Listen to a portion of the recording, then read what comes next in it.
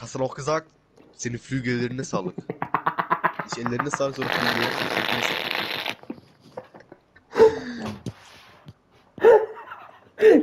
Kanatlarına sağlık.